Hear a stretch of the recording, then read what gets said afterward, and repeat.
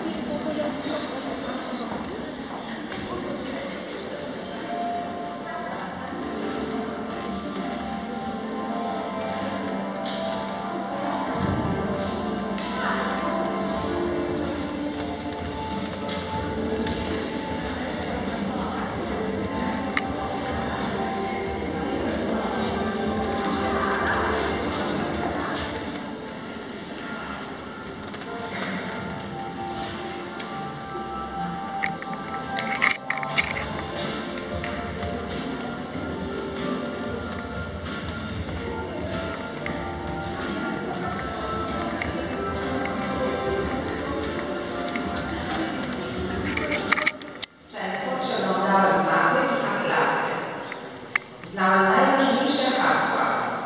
Jednak efektów mojej pracy nie